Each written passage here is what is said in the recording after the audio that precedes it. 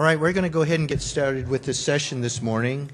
Um, we want to thank you for um, uh, the early birds to coming to this session on the uh, geoeffectiveness um, and uh, of, uh, actually, I forget the title of the session, but geo-effectiveness is the geoeffectiveness. That's the buzzword. Um, and so this is a, a very uh, appropriate session, I believe. We've done a great job of, of predicting arrival times of uh, uh, space weather events, CMEs, and uh, whatnot. Um, but nevertheless, uh, one of the biggest issues is understanding what makes something geoeffectiveness and uh, and geoeffective. And so this session is, is dedicated to that. Um, I'm going to let the speakers know, of those who happen to show up, that it'll be green about two minutes before uh, your time is up. This is going to turn yellow. About red, I'm going to stand up, and if it doesn't, um, if you don't go, I've got this little switch right here, and your mic turns off, and we'll turn to, to the next show, uh, to the next talk. So uh, if you don't see your slides up there, that means you're probably eating into somebody else's time. Um, so first talk, I'm going to, uh, Jimmy's going to do the announcing. Okay, so our first speaker this morning is uh, going to be Joe Borovsky, uh, co-author Dan McDenton, on the solar wind magnetosphere interaction, and it's an invited talk, but all the talks only get 15 minutes. So. Yeah. That's all you want. It's hard to see from here. Um, so what I want to talk about is the physics of solar wind magnetosphere coupling, and I'm going to talk about two two things that happen during coupling. Uh, one is sort of a dominant mechanism, which is this reconnection, magnetically connecting an MHD generator to the Earth, and then a contributing um, or smaller effect is the viscous interaction, and I'll look at that a little bit.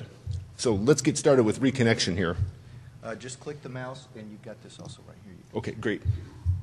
Okay, so here's two, oops, here's two plasmas reconnecting, uh, the magnetosphere and the magnetosheath.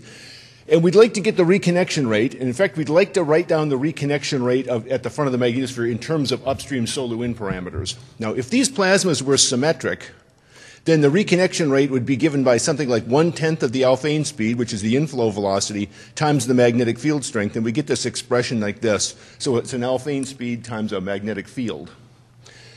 Um, when the plasmas aren't symmetric, when they have different magnetic fields and different densities, then you have to look at asymmetric reconnection, and, and the asymmetric reconnection rate is given by the Cassak-Shay equation, which is this thing right here. Uh, and it's got a hybrid Alfvén speed and a hybrid magnetic field in it. And so I put subscripts here, M for magnetosphere and S for magnetosheath. So it's the magnetic field on the two sides of the reconnection site and the, and the mass densities on the two sides of the reconnection site. So in addition to the clock angle, which I haven't put in, this is dead. Um, in addition to, oh, I, I, can't see it. Um, in addition to the um, uh, clock angle, which I haven't put in this equation yet, I will in a bit, uh, there's four parameters that control the reconnection rate. Magnetic field strength on the sheath and in the magnetosphere, and mass density in the magnetosheath and the magnetosphere. So here's those four quantities, and we would like to write those in terms of upstream solar wind parameters. So the first one, the magnetic field strength at the nose of the magnetosphere, we can write as a, as a ram pressure balance with the solar wind, and then it's that line after uh, number one up there. Uh, and then there's a Mach number correction which takes into account the, the magnetic pressure and the thermal pressure of the solar wind to, to do that pressure balance. Uh, the second term is the magnetic field strength in the magnetosheath, term number two there. And we can write that down with pressure balance with the magnetic field in the magnetosphere. And there's a beta factor that comes into that, which is the beta of the magnetosheath. And uh, there's an expression there for the beta of the magnetosheath that says it's Mach number, Alfvén Mach number over 6. Thanks, Bob.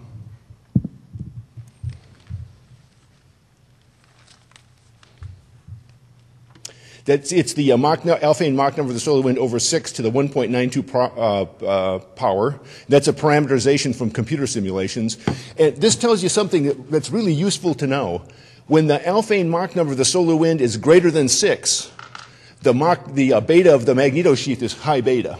And you can use gas dynamics to describe its flow. When the Mach number is less than 6, it's low beta, and you need MHD to describe the flow. And so the flow pattern in the magnetosheath switches at about Mach number of 6 from a gas dynamic flow to an MHD flow. Described by different equations, and the flow pattern looks different. Uh, the third parameter is the a mass density of the magnetosheath uh, near the nose of the magnetosphere, and that's given by the simple expression where this is the compression of the bow shock, and this is the solar wind density. And the compression ratio of the bow shock uh, depends on the angle of the magnetic field, whether it's a perpendicular or parallel shock. And the fourth parameter is the mass density of the magnetosphere, and we don't have a way of parameterizing that in terms of solar wind parameters yet. Uh, there's going to be a, a, big time lag between solar wind and uh, what comes up uh, in the magnetosphere at the day side. But this parameter, of course, gives us the plasmasphere effect, where if the magnetosphere dumps a lot of mass to the day side reconnection site, it can alter solar wind magnetosphere coupling. But for today, we're going to stick that equal to zero because we don't know what to do with it. So here's the, the Cassak-Shay equation written in terms of upstream solar wind parameters, and now we have a, um, a clock angle inserted in it. This factor of h here has a clock angle of the magnetic field in it. Uh, this angle alpha is the tilt of the neutral line, and it's given by this expression right here, which maximizes the reconnection rate in the Cassak-Shay equation. So here we have a expression for the reconnection rate of the dayside magnetosphere in terms of upstream solar wind parameters. And it's kind of convenient to write that equation like this, where the reconnection rate is density of the solar wind to the one half, V naught squared of the solar wind times this function of the Alfvén Mach number. So it's a good time to look at the physical interpretation of this. So here's our expression right over here. So we asked the question, what controls reconnection in the, uh, uh, on, on, the dayside magnetosphere? And as it says here, believe it or not, it's the ram pressure of the solar wind and the density of the solar wind that controls reconnection. So it's this term right over here, which is a ram pressure over here, which goes into a b squared by pressure balance, uh, divided by the square root of the density of the solar wind, so that gives you an Alfvén speed times the magnetic field strength. Now, there's a Mach number effects that greatly change this thing. So it says the driving is greatly modulated by Mach number effects. And so here's a plot of that function of Mach, uh, Mach number versus Mach number here that goes out here. And you can see it's a fairly steep function, goes up a couple orders of magnitude down as the Mach number changes. So we can ask this question why is it that the electric field of the solar wind, terms like V times B, do so well in correlating the solar wind parameters with the magnetospheric activity? So if we look at that reconnection function, it's this term right over here, this pressure term, times this function of the Mach number. The function of the Mach number here, you could kind of fit it as Mach number to the minus 1 power. So if you write that down as Mach number to the minus 1 and write down what 1 over the Mach number looks like, and put that up here and multiply it, you get a V times a B for this uh, coupling function. So the reason why the electric field of the solar wind seems to uh, drive the Earth's magnetosphere is not because the electric field of the solar wind is imposed at the dayside neutral line. It's a coincidence that it does it. So we want to make our first driver function. We're going to make a viscous one, and this is the first one, though, is the reconnection coupled MHD generator. So the generator function is going to be the local reconnection rate times the length of the neutral line uh, times a generator uh, saturation term. Oh, that's better. So the reconnection rate is given by those formulas that we had on the uh, other slides. The length of the neutral line we've parameterized with the LFM code at CCMC to be an expression that goes as uh, Alfvén Mach number to the, about the 0.3 or 0.4 power. And the current saturation term, we write it as this 1 over 1 plus Q, where Q is the Alfvén speed of the solar wind and the Pedersen conductivity of the magnetosphere. So here's our reconnection generator function. Reconnection coupled generator right here. Okay. So that's our first driver function. For our second driver function, we want to look at the viscous interaction. And we don't know very much about the viscous interaction, so we'll take a couple of guesses. The first guess we can do is we can try to guess at what's the mechanism that gives us viscosity in a collisionless plasma, and then use that viscosity and the properties of the flow to come up with a flow Reynolds number, and then use that flow Reynolds number in a um, aerodynamic viscous drag formula. And this was done in 82 by Vasily Vasyliunas. And so what the first guess we'll make is that the kinematic viscosity of the plasma is equal to the Bohm diffusion coefficient. And actually, implicitly in the Vasyliunas paper, that was done, although it wasn't, wasn't said so. And so we've re-derived that for a supersonic flow, and we get this expression here for the uh, Bohm viscosity. A second thing you can do is you can look at the fact that the solar wind is turbulent, and you can say you can exploit this thing called the free stream turbulence effect, which says that the dominant viscosity of the fluid will be the eddy viscosity caused by those fluctuations.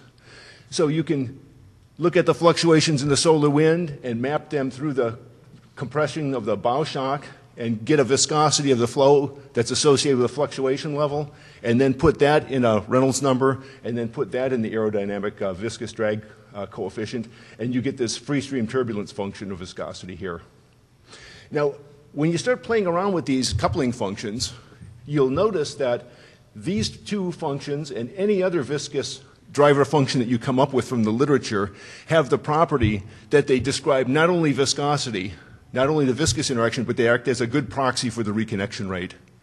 And probably vice versa.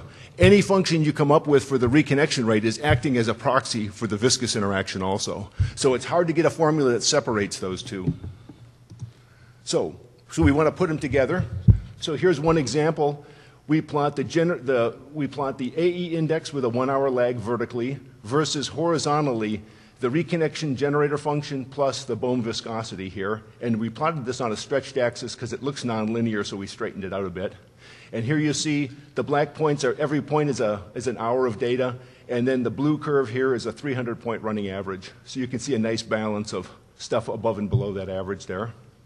So when you start to look at correlation coefficients between um, geomagnetic activity, here's AE with a one hour lag and KP with a one hour lag, versus different driver functions. These are the uh, linear correlation coefficients you see. So here's the Newell, fun- the Newell function, which is uh, an empirical V times V type function. It does quite well. This is just our local reconnection rate derived today. It does pretty well. It does better on the KP index. Uh, here's our generator function. Here's generator plus Bohm, which is the one that's plotted up here. So it does pretty well for especially KP. And this is generator plus the free stream turbulence uh, effect. So what physics is missing here? A number of things. Uh, Kelvin-Helmholtz instability uh, adding to reconnection is not in here. Behind the cusp reconnection, which is mostly for northward IMF, is not here. Kelvin-Helmholtz modulated viscosity is not here. Oh, and also number one, we've taken the density of the magnetosphere to be zero in our formulas, and that's not true, but we don't know what else to do. Uh, tilted X-line effects we haven't put in. Uh, variable time lags, we've just taken a one-hour time lag from solar wind to geomagnetic uh, indices that could vary with all kinds of things. Uh, and then the mass coupling of the solar wind, the fact that the solar wind density leaks into the magnetosphere and changes the way it operates. Uh, there's a lot of noise in these measurements. Uh, one great source of noise is the fact that our upstream monitor does not measure the solar wind that actually hits the Earth. We uh, may be uh, missing, uh, we, we, may be inaccurate in that. Um, the appropriateness of the geomagnetic indices as a, as a measure of uh, energy input or reconnection rates. And then there may be hysteresis in the system where the past history of what's been going on uh, folds into what's what, how things work. So there's other Mach number effects. The Mach number is very important, but there's other Mach number effects I'd just like to mention here. And these really give you the differences between CME and CIR storms.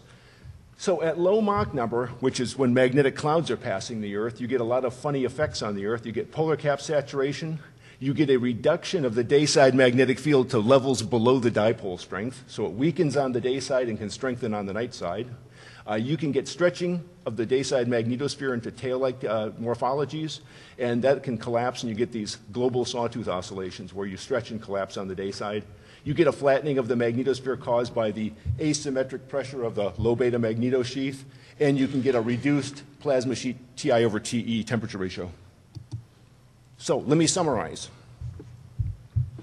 Dayside reconnection is, is, controlled by the pressure of the solar wind and the density of the solar wind, with very strong Mach number effects modulating that. And the Mach number sets the beta of the magneto sheath, and the beta of the magneto sheath helps determine the reconnection rate between those two plasmas.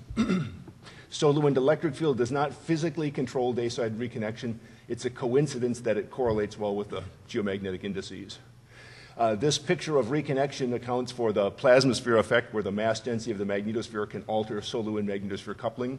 Uh, the post reconnection generator physics, under some conditions, the solar wind cannot supply enough current to the magnetosphere to do the driving, so there's a saturation.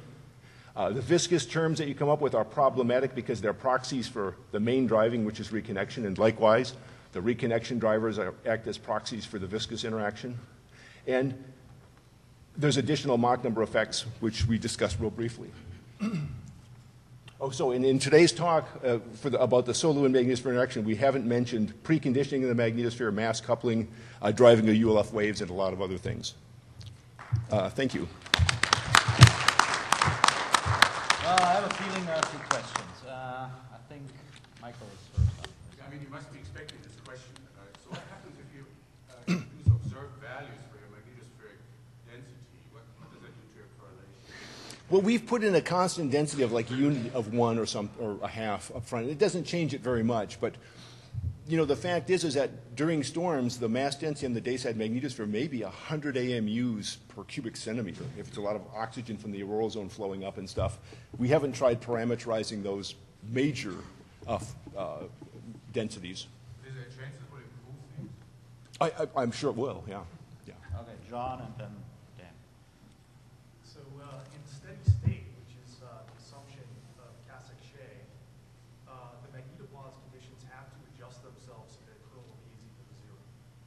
Okay. The only boundary condition for that equation along the sun line, for example, is the solar wind electric.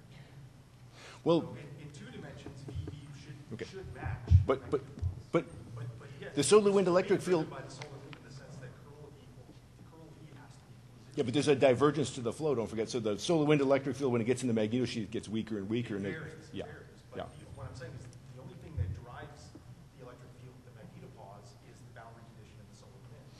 Yeah, in a sense, the field lines that you reconnect, the, the, the, number of the field lines that are reconnected pick up the solar wind electric field, but but then they get saturated if there's not enough current supply, and then you get some funny business. Okay, one more. Very simple thing I just thought is the correlation are the correlation coefficients you showed for the smooth running average kind of stuff, or were they for the? No, they're for the individual one-hour points. Yeah, if I do the, the smooth average, it's like a 96, 97. No, it's not for the smoothing. Okay, thank you very much again. Uh, next speaker will be Howard Singer, talking about comparing the magnetosphere's unusual response to large and small solar wind drivers uh, with McPherron, Green, and Rodriguez. Howard. Okay, thank you. Uh, good morning. I wasn't trying to force Joe off the stage, they were calling me up here. but um, as you already heard from uh, Jim this morning, the, one of the goals of this uh, session is to explore and understand um, how the uh, geospace, what is the geospace response, what is the geoeffectiveness due to various uh, solar wind uh, conditions that uh, encounter the Earth. And so I'm going to um, examine that today by comparing the magnetosphere's uh, unusual response, I think, to large and small solar wind drivers. And in collaboration with my co authors, uh, Bob McPherron, who put in a lot of work on this, and Janet Green and Juan Rodriguez and the others who I have acknowledged here. We're first going to say a few words about what's motivated us to do this study, and then we're also going to talk about the, uh, a couple of events. Uh, first, we're going to talk about the so called Galaxy 15 event, and that was an event which has been talked about earlier this week, and last year I spoke about it, where um, about an hour before Galaxy 15 uh, and had an anomaly which put it out of service for quite some time, there was a very large uh, geomagnetic disturbance with AL reaching less than minus 2,000. And the second event that I'm going to talk about is what I've called the Bastille Day 2 storm. And that's because it occurred on Bastille Day this year, but it's reminiscent of the Bastille Day storm that we had, uh, I think it was in the year 2000. And then I'll put those uh, couple of events in perspective by looking at statistics for uh, large and moderate geomagnetic disturbances, and then talk about some, uh, bring the summary and conclusions. So, first of all, our motivation uh, is both science, because we really want to understand, as we just heard from uh, Joe Borovsky, we want to understand uh, what are the physical processes that control the geospace response to solar wind drivers. But there's also a practical side of this, and there's a societal benefit in understanding that coupling between the solar wind and Earth's magnetosphere. And this is just one example that I've given here of activity that is going on that's of great interest to the nation and, and to the entire uh, world. And that is, uh, we held a uh, meeting with the uh, North American Electric Reliability Corporation in Boulder just um, this uh, just a few months ago. And part of this was to understand how to better communicate what's going on in the environment so that power grid operators can uh, respond to that. And one of the things that they mentioned is they really need to know, uh, they've been relying on things like KP and, and things, and they really want to know not just what's greater, they want to know what KP greater than 8 does, uh, when that's going to happen, because they will respond differently based on some extremely large geomagnetic activity as opposed to KPs, which are less than that. And so, one of the motivations for what we're doing here today is to sort of look at can we distinguish between events of uh, those sorts of different magnitudes. So, what are the events that we're looking at? And I've just put up a very uh, brief uh, sort of summary of a couple of the key features uh, of these events.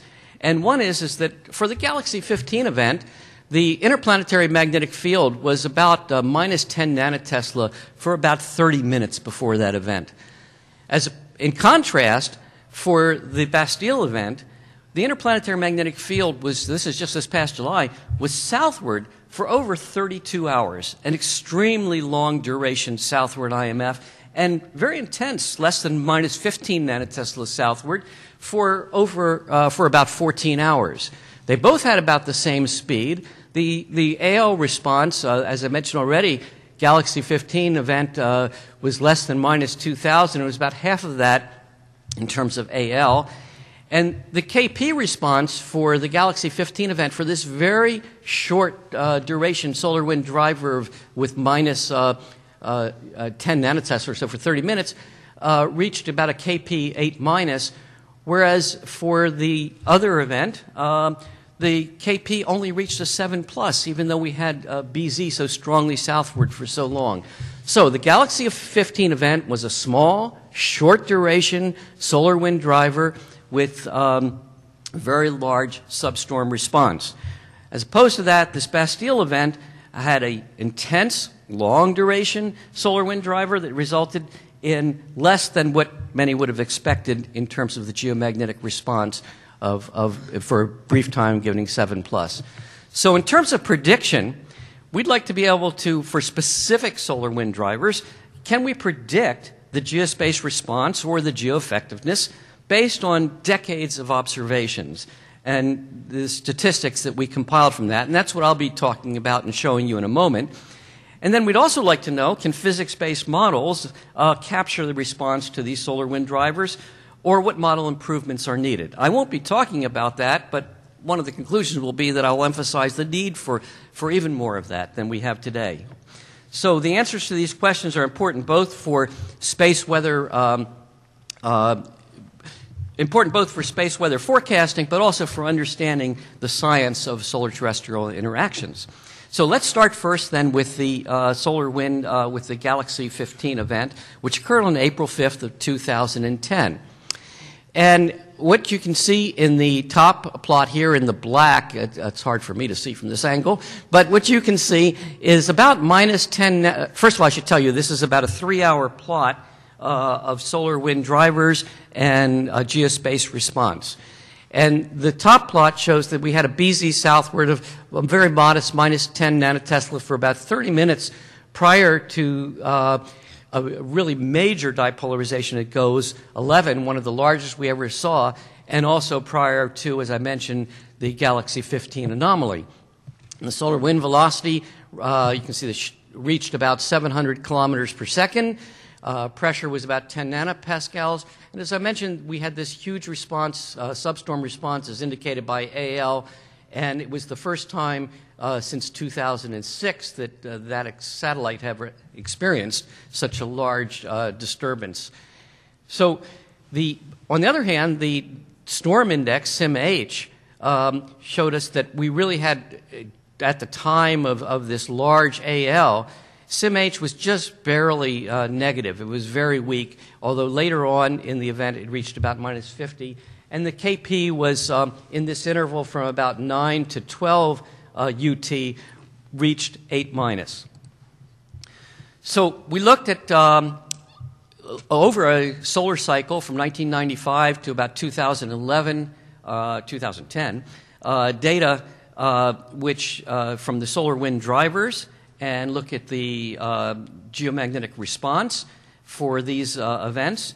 And in particular for this, what we wanted to understand was and distinguish was the difference between the drivers and response for the very strong, excuse me, for the very strong uh, substorms, AL less than 2,000, uh, minus 2,000, which is shown in the blue lines, and the moderate storms, which were uh, between 350 sorry, and minus 200 uh, nanotesla. So, um, what we found was, thank you, Jim. Thank you. So, what we found was that um, the AL um, shows that for these large events, which you see in the blue here, the AL less than 2000, minus 2000, is that they generally begin with several hours. By the way, I don't know if I said this is plus or minus four hours, and what was picked out as zero epoch time was the AL um, drop here. And so for these events, the um, AL normally starts from a level that's already very disturbed, about minus 500. And if you remember for our event, AL was almost zero. Sorry. And um, if we look at BZ, we can see that for many hours prior to an event which reaches this level of disturbance, that AL, uh, or rather BZ, is already strongly southward for uh, quite a few hours. And in contrast, we only had about a half hour of uh, BZ being southward. So even though these blue lines show extreme events, which you would expect statistically, um, this particular substorm was an extreme among extremes. It was even it, it showed a stronger response than what you would have expected from statistics. So now let me move on to the second event, and that's the Bastille Day 2 event, which just occurred this past July. And what we've shown here is three days of data from July 14th through uh, to July 17th. And the solar wind velocity, again, uh, reached about 700 kilometers per second.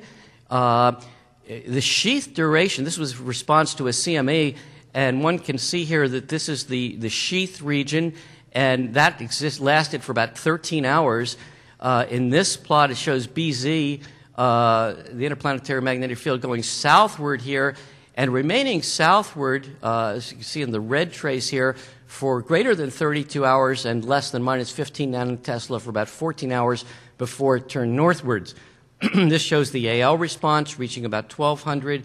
Uh, KP only reached uh, about a 7 uh, plus uh, during this time interval uh, on the time interval on the, on the 15th, during a short time interval here.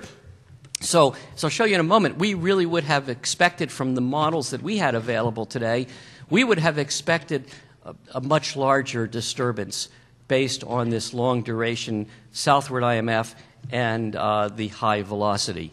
Uh, we should look at the, some of the parameters and things Joe was just talking about as well.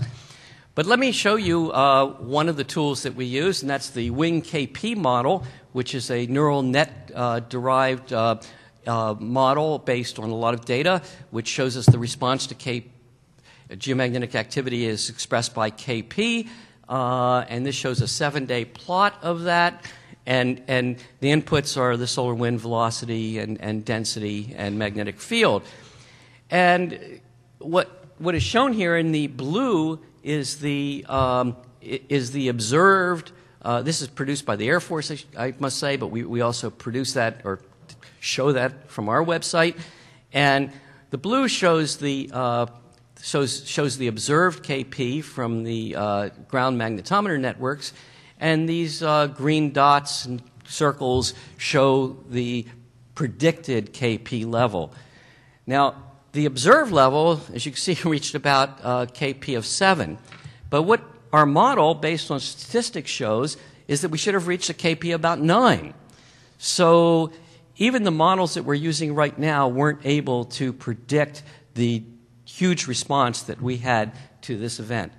We also use the Wang-Sheeley-Arge Enlil model, and I think because of time, I won't spend much time going into to this. But, but here we're, this is based on uh, solar magnetograms as input to the um, uh, to to the Wang-Sheeley-Arge Enlil model.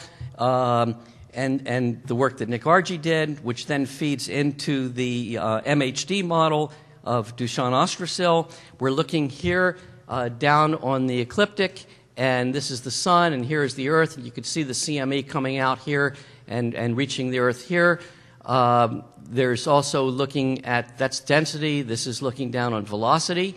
And there's actually some very intriguing results here that we see this region where the density comes over the Earth is the region uh, that we see the sheath in the, uh, that 14 hour sheath interval.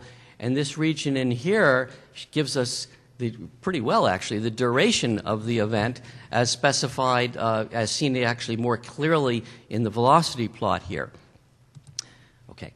So let me quickly get then to the uh, statistics that we used. Here we used more than 40 years worth of data, and we looked at the response uh, grouped by both KP greater than or equal to 8 and moderate substorms KP 5 to 8.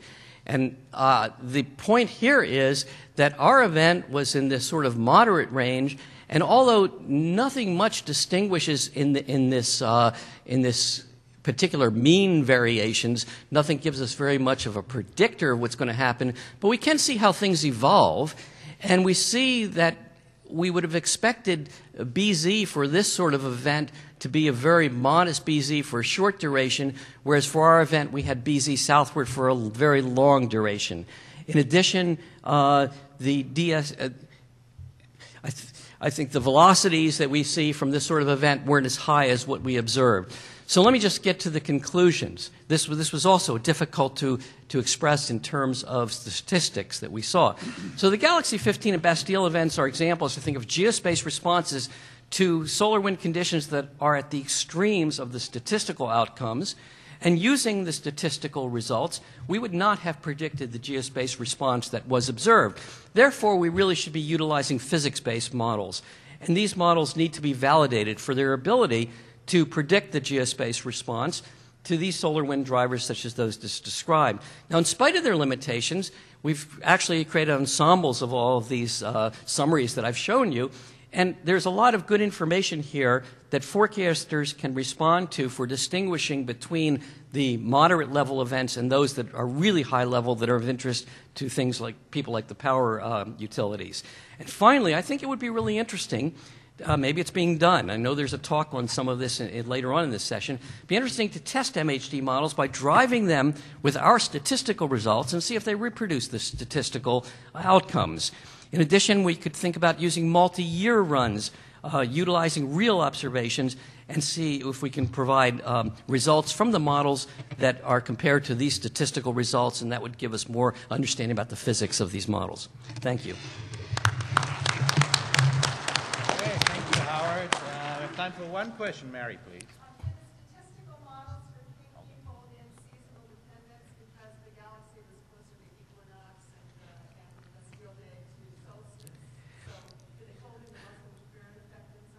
Well, they fold in the Russell McPherron effect when we look at things with GSM, uh, but I don't think we separated things by season yet, but we have a lot of other statistics, because that's a good point.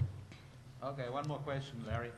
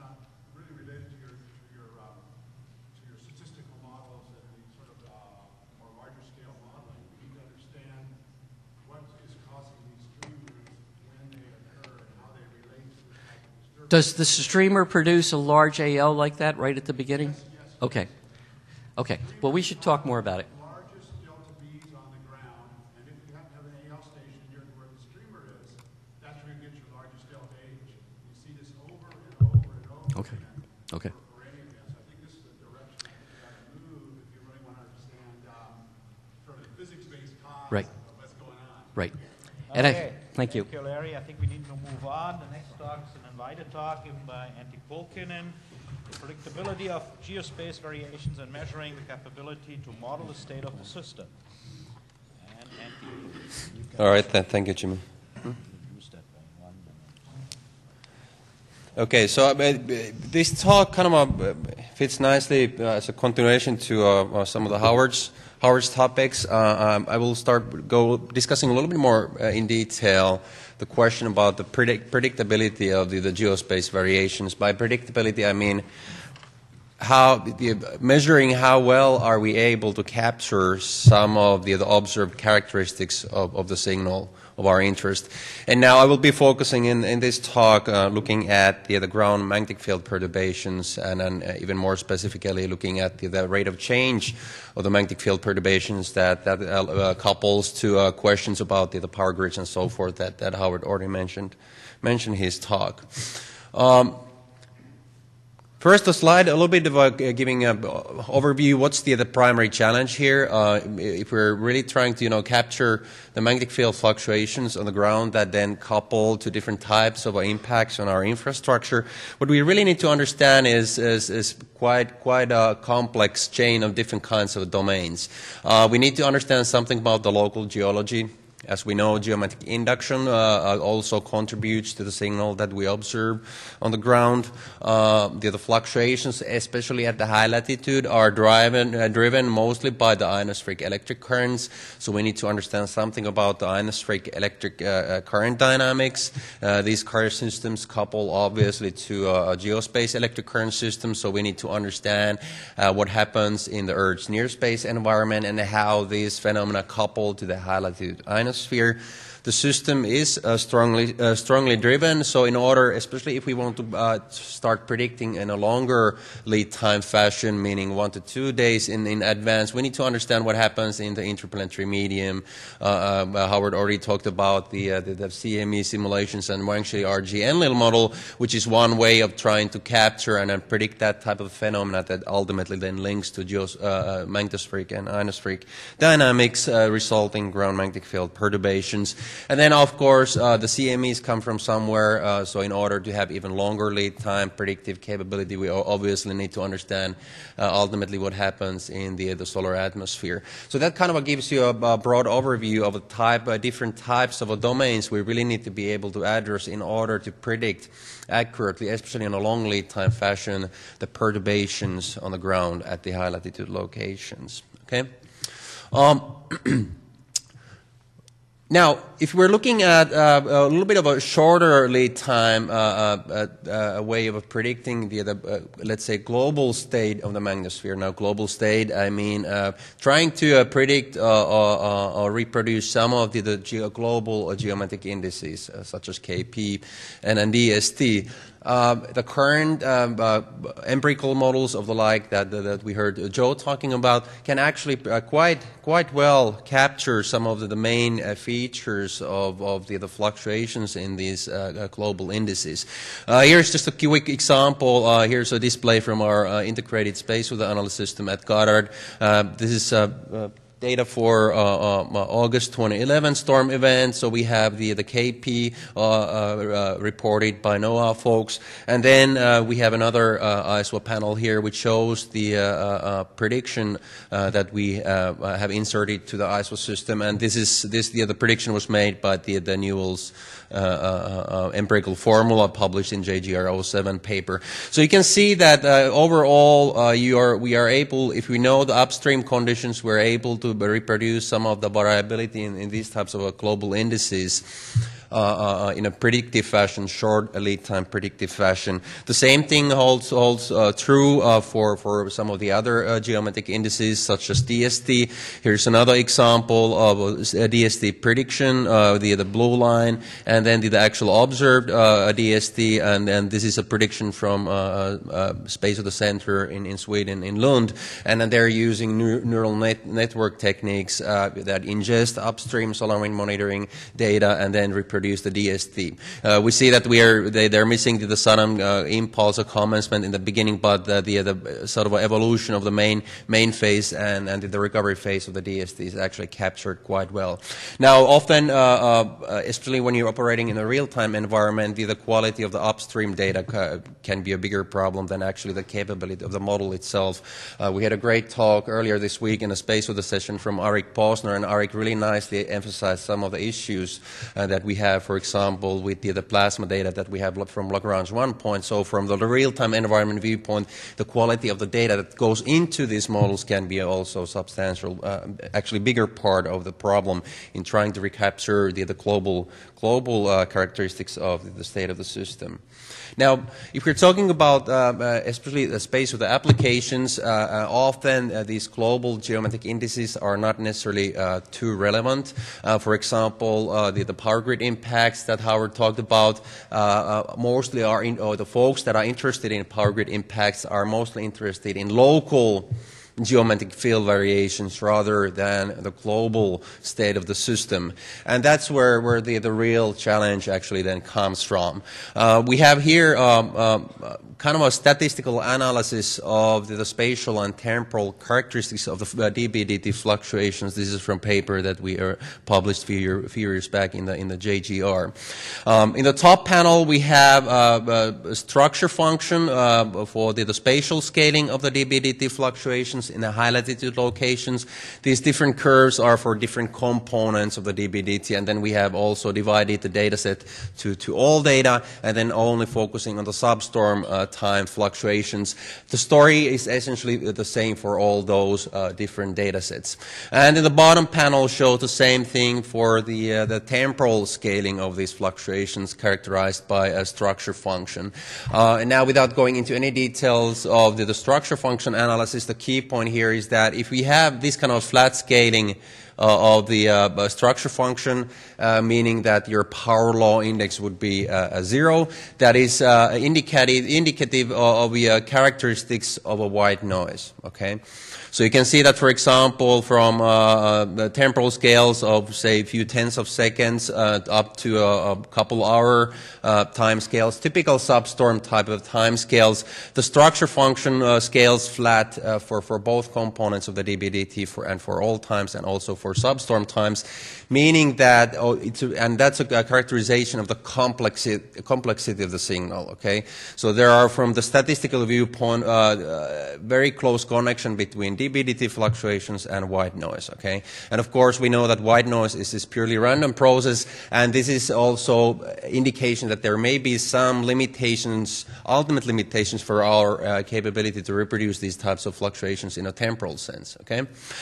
Top panel shows the, the spatial scaling. Uh, now uh, we are not having here flat uh, flat scaling, but it turns out that uh, if you uh, do upward continuation of the field from the ground to the ionospheric level, and we know that upward con- the, the uh, ionospheric currents and the magnetic field perturbation when you map it to the ground is actually low pass filtering. Okay, so if you take that low pass filtering effect into account, it turns out that on the ionospheric level, also the spatial scaling is, is quite flat from the structure function viewpoint. Okay, so these fluctuations have resemblance of a white noise, uh, also in a, a, spatial sense at the high latitude locations. Okay, so these are very kind of a stochastic complex fluctuations that we're trying to predict and that is ob- obviously quite a, quite a big challenge. Um, now, However, uh, we, we do observe that there is some uh, predictability of these dB/dt fluctuations. Uh, here's one example of, of result from uh, Weigel et al. paper where they looked at 30-minute average dB/dt fluctuations and then they built a model uh, uh, that was empirical model that was trying to predict those fluctuations and they were actually getting pretty high prediction efficiencies. prediction efficiency is now if it's zero you can't capture anything. Prediction efficiency equals 1 means that you have a perfect prediction. So here on the map, uh, uh, they're showing a sort of a, a, a local time and a, la- latitude distribution of the prediction efficiency of their model. And you can see that uh, at uh, certain locations, they can actually uh, achieve quite high uh, 0.6 or 0.7 type of prediction efficiency, efficiencies. So from on average sense, there is a predictable component in these dBdt fluctuations. Okay, uh, so that's an indication for us that maybe we should not try to recapture from the point-to-point fluctuations of the dBdt, but some little bit coarser grain type of characteristics of these dBdt fluctuations. Here's just a quick example, sort of giving you a visual imp- impression of, of the, the, complexity of the problem here. Uh, here's one of the events. Uh, I think this is a Halloween storm event, and dBdt fluctuations from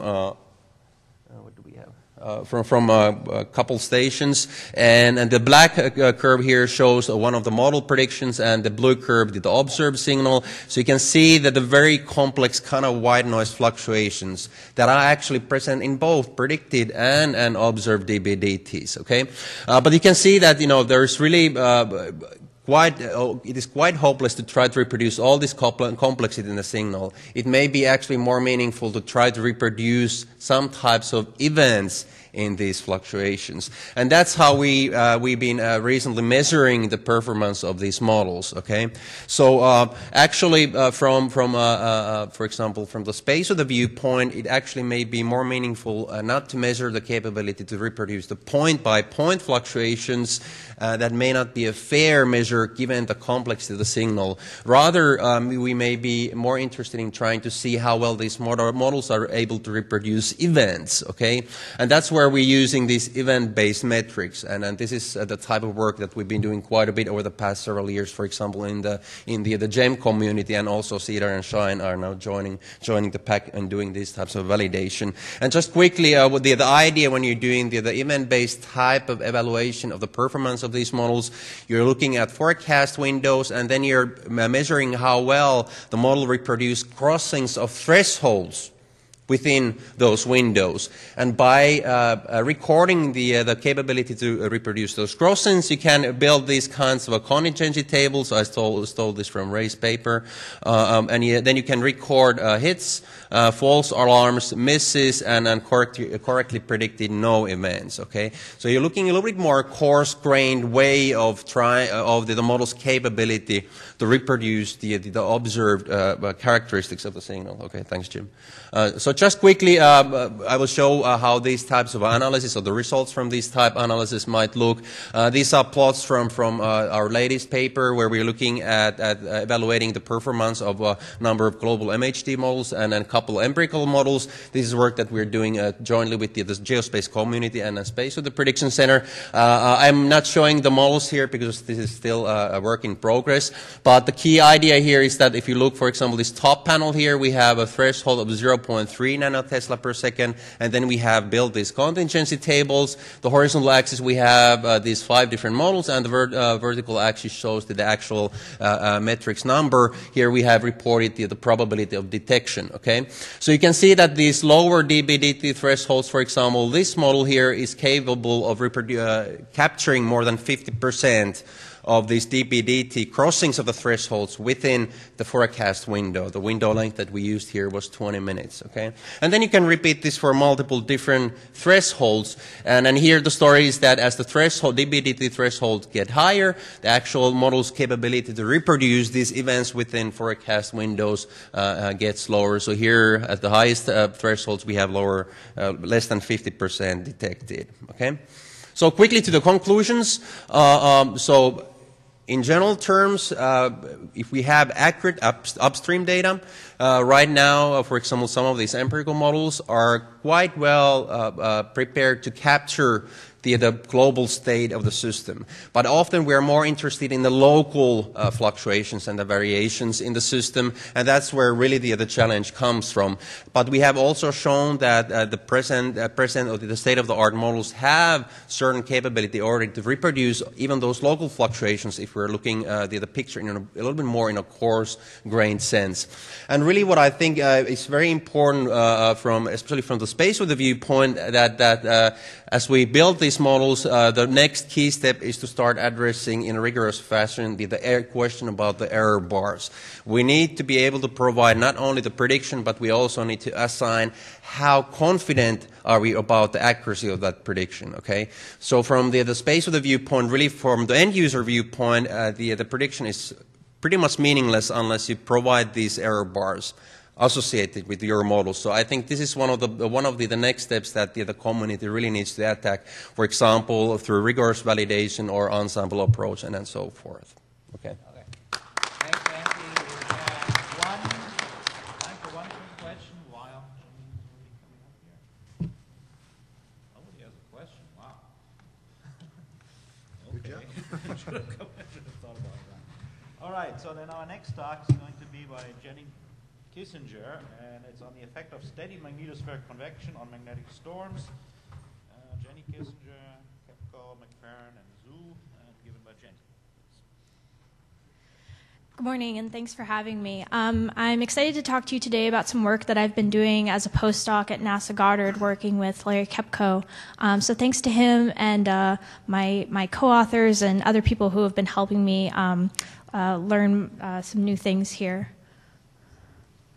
Um, so the title of the session is about geoeffectiveness of, of storms. And when we talk about geoeffectiveness, we can talk about um, how the radiation belts uh, can get enhanced, particularly with uh, relativistic electrons.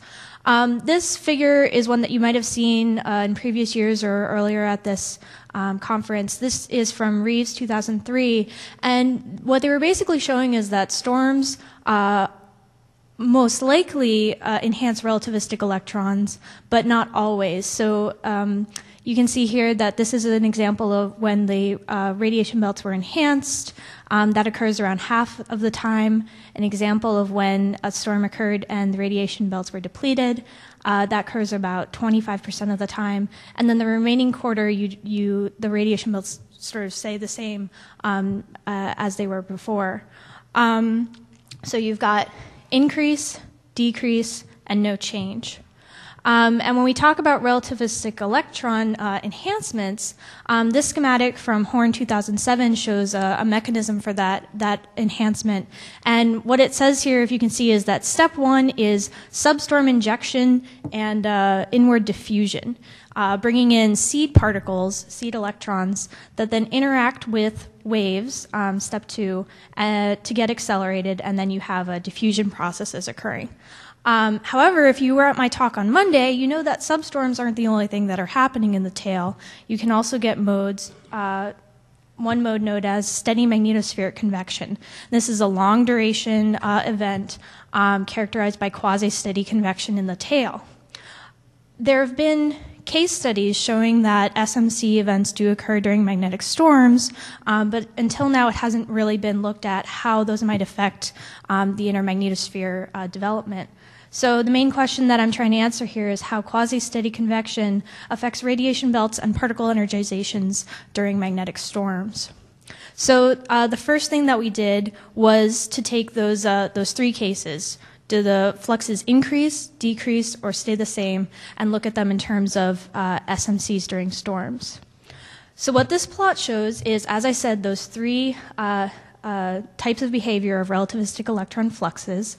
Um, if you look at the blue bar, that shows the percentage of storms, uh, of all the storms that we looked at, and these are storms driven by CIRs.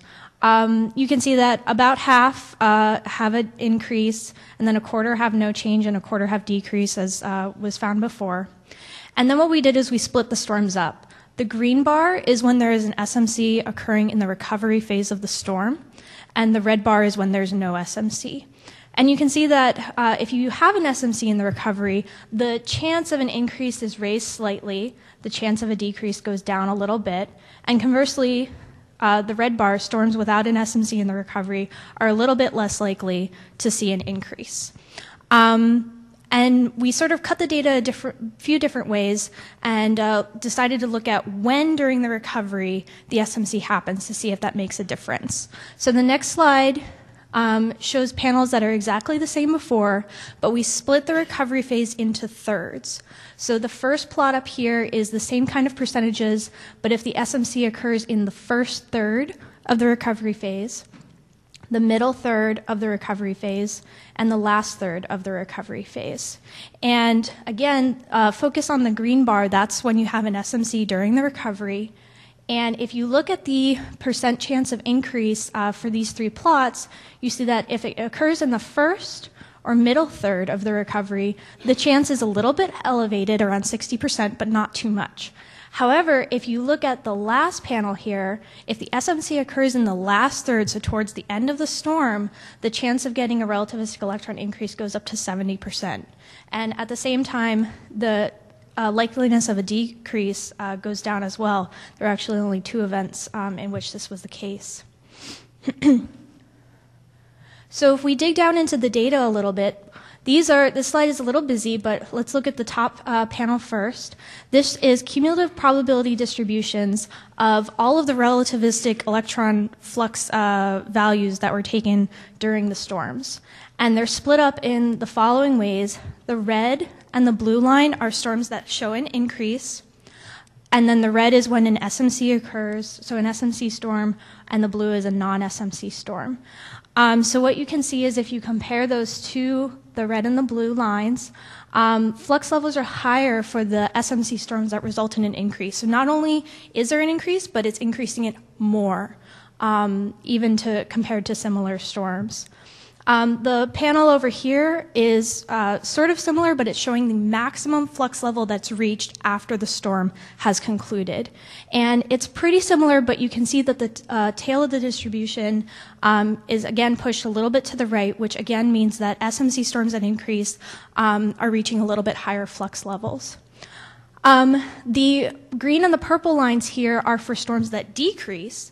Um, but you can see that the green is for when you have an SMC. And what's interesting is that uh, an SMC storm, when you get a decrease, doesn't decrease quite as much um, as comparable uh, to the, the purple line storms that um, uh, decrease as well. And then if we look at the last uh, panel down here, this is the velocity. And we see that uh, again, comparing the red and the blue line, the velocity is actually pretty similar. Um, so the SMC is playing a role. Um, the next thing I did was look at uh, calculate phase-space densities using the Themis data. So this is a reduced uh, data set of our storms. Um, and what this is showing is the phase-space density of 75 MeV per G electrons binned by L star and MLT. Uh, the top panels are for times when you have a storm with an SMC, and the bottom is without. And this is for the main phase, the first third of the recovery, the middle third, and the last third. So you want to compare the top panel to the bottom panel. And what you're generally seeing is that uh, there's warmer colors or more enhancement for the SMCs. So here's from midnight into dawn. There's a lot more red here than there is uh, compared to the non-SMC storms. Um, one difference is this pre-midnight uh, sector here. Um, I'm not saying anything about what could be going on during this storm, so there could be substorms um, that are causing injections and so on. Um, unfortunately, remember I was really interested in the last third. Unfortunately, there's not too many storms uh, in the Themis era in which an SMC occurs in the last third. But if you compare what we do have, you still again see a lot more um, uh, red, more enhanced fluxes compared to the non-SMC storms. So I did this for a few mu, but let's just keep going uh, through some of them. And again, just comparing the top plot to the bottom plot, you're seeing uh, more enhancements um, in the, uh, the phase-space density of these electrons and continuing on to um, 900 uh, MeV per G. And again, um, just comparing that, we've got a lot more red and orange compared to, to the blue. So again, SMCs are enhancing, SMC storms have uh, enhanced phase-space densities. And to kind of quantitatively show this, um, I'm going to take uh, the phase-space density values for each bin and subtract them. So just create a difference. And that's what's shown in the next plot. So this is the log difference of the SMC value divided by the non-SMC value. So if it's positive, that means that the SMC phase-space density is larger. If it's negative, the non-SMC stores are larger. And this is uh, for each MLT bin, so midnight, dawn, uh, noon, and dusk and this is for the first third of the recovery. The colors are the different mu's that I was looking at. And so you can see that um, around midnight and dawn, the SMC uh, phase-space densities are enhanced. Um, here at noon, it switches, and actually the, the non-SMC storms uh, have higher phase-space densities. Um, and here's that dusk uh, pre-dawn sector where uh, the, the non-SMC storm is a little higher. Um, looking at the middle third of the recovery, almost everything is positive here. Again, that means that you have higher phase space density for the SMC storms compared to non SMC storms.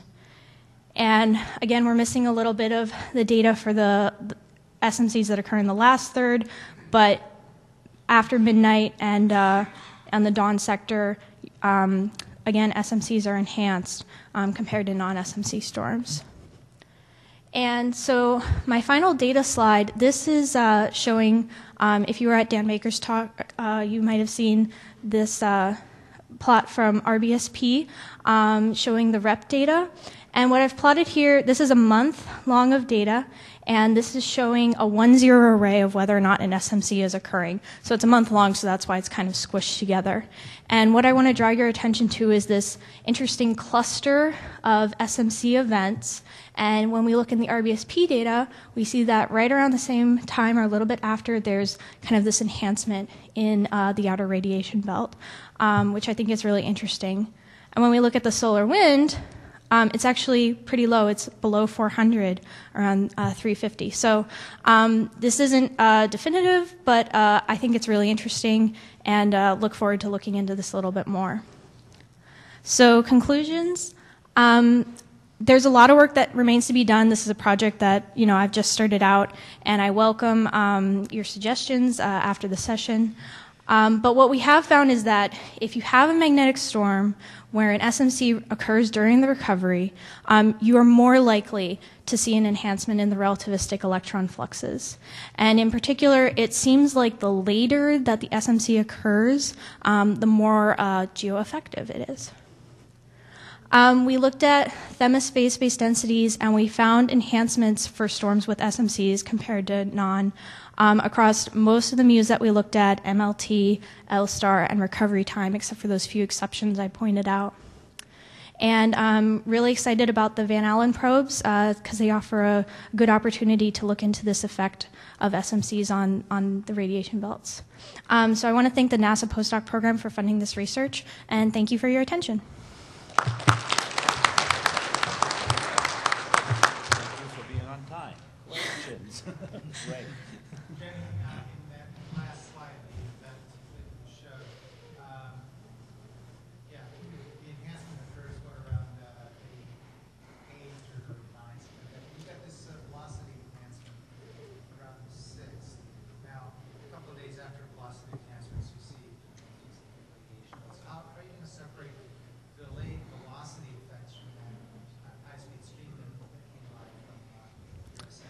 So what I'd like to do is look at this is rep data. I'd also like to look at the the lower energies and to see if we're seeing um, injections of seed electrons during SMC events. So kind of dig down further in um, to see if there's a direct correlation between what's occurring in the tail and what's going into the inner magnetosphere. Because the yeah, like you said, I think the the waves that accelerate electrons take a few days to get going, right? But the idea we have right now is if you bring in the seed electrons um, with the SMCs, that might be sort of what we're seeing with the the increases. Does that make sense? Okay. Okay, Joe.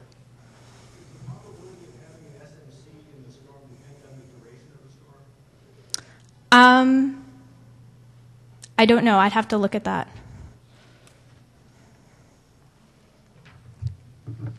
Okay, no more questions. Then our next talk will be given by Dolores and it's an invited talk uh, about the thermospheric geoeffectiveness of solar wind disturbances monitored with low Earth orbiting measurements of magnetic perturbations and Poynting flux uh, by Dolores Knipp, Rich, Commons, and oops, myself. All right, so an early and relevant question might be what's, why is a nice ionospheric scientist like me talking about solar wind thermospheric interactions in a magnetospheric session?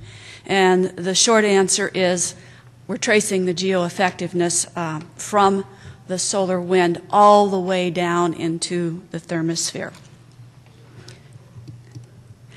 Um, and while we're doing that, we're actually answering an operational question posed by Space Command.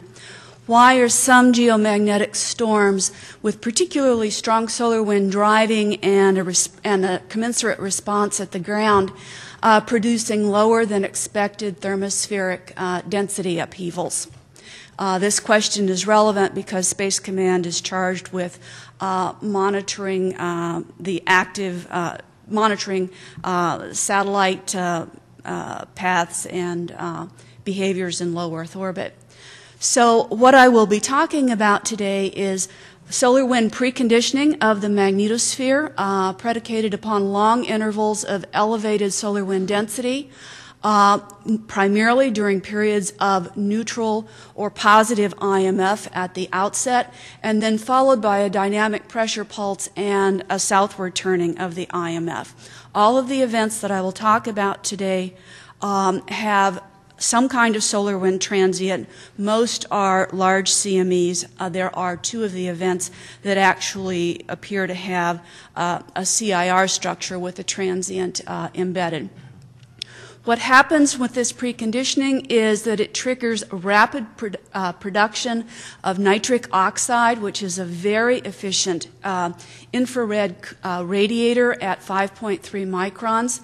Um, we believe it does this by enhancing low energy auroral particle precipitation for long periods, probably globally, uh, and further by increasing Poynting flux, which then modulates uh, field aligned currents or is, is, part of the modulation of field aligned currents, which are ohmically dissipated um, in the ionosphere, thus heating the ionosphere. The net result is over- overcooling of the thermosphere, and we are now thinking that this is a type of magnetic storm geoeffectiveness that has that is there uh, probably in many other types of storms, but it is particularly evident with this type of preconditioning. The thinking uh, that has been implemented at Space Command is that, uh, that we can use an empirical ground-based index relationship, that's the DST, to monitor the neutral density perturbations. And, and quite simply, for our purposes, the idea is if there is strong solar wind driving, the DST index is going to uh, decrease in the main phase. That represents um, strong driving in terms of electric fields uh, that drive currents that will ultimately be uh, dissipated in the atmosphere and cause upheaval. The key uh, index or, or um, uh, level of index that Space Command uses is they switch to a DST parameterization when uh, DST hits minus 75. Prior to that time, they will be using an AP index. And we actually get some forecasting capability out of this because there's typically a three to six hour lag time uh, in the rise of neutral density simply because the atmosphere is massive. And we'll see for these large storms on the order of a several nanogram per meter cubed increase at 400 kilometers at the CHAMP satellite, which is one of the um, instruments that, uh, that I'm using for this comparison. So, as uh, to uh, give you an indication of what I'm going to show on some smaller graphics in the next few slides, um, on the top we have the CHAMP neutral density for 11 what I will call problem storms which we did not know exactly what the problem was before we started. Uh, these storms were in 2004, 2005, and 12 control storms, which are the storms that are intervening or on either side of this interval, um, that also reach uh, a minus 75 nanotesla DST. I'm doing a superposed epoch analysis here. The zero, the superposed epoch analysis is. Um, when the storm reaches minus 75 nanotesla. So what you see up here is the control storms essentially having that rise that we expect, about one and a half nanograms per meter cubed. Uh, it goes from a minimum to a maximum generally over about 12 hours. So there's an increase of about 100% over, actually, I'm sorry, uh, closer to tw- uh, 20 hours.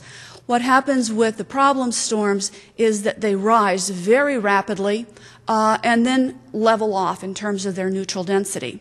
When we compare that to what the forecasting scheme would say, the forecasting scheme would say for the relatively well behaved control storms is that we get this decrease in DST. It hits minus 75, perhaps goes a little bit further, and then recovery begins.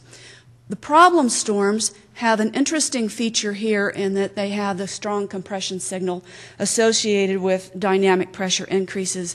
Then we get a very rapid drop in DST, and it, and it remains uh, negative for a longer time, or largely negative for a longer time, and stays negative for a longer time. So we're going to go through a series of, uh, of um, plots like this where I show you what I believe to be the relevant uh, geoeffectiveness scheme. So up here, I've, I have now what I showed you before, the CHAMP data. Problem storms are in blue. Um, red storms are the control storms. The DST that I showed you before. Here I'm showing you what the IMF BZ is, and I'll, I'll, just comment that these are averaged in two hour bins. We needed to do that kind of averaging in order to treat uh, the uh, low Earth orbit data um, uniformly across all of our platforms. What you'll see here is the IMF BZ component is roughly comparable. You do see in the problem storms the tendency for that very rapid decrease. If we look at these in terms of coupling efficiency, uh, solar wind, magnetosphere, we can look at the Newell function or the Borovsky function. Both of those show that the problem storms um, initially have relatively flat coupling and then rise very rapidly, peak slightly after the um, uh, zero epoch uh, time, and then um, kind of a mixed bag in terms of what happens afterwards.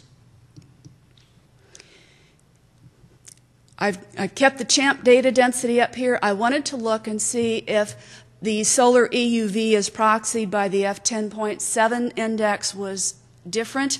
Um, we believe that there actually, it's, it's a small difference, perhaps about seven units, but it's certainly persistent.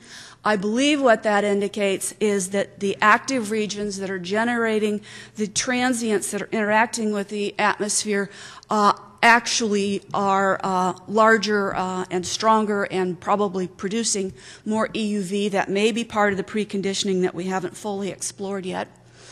The solar, what is interesting is for the full 18 hours ahead of the zero epoch time, the solar wind density is enhanced.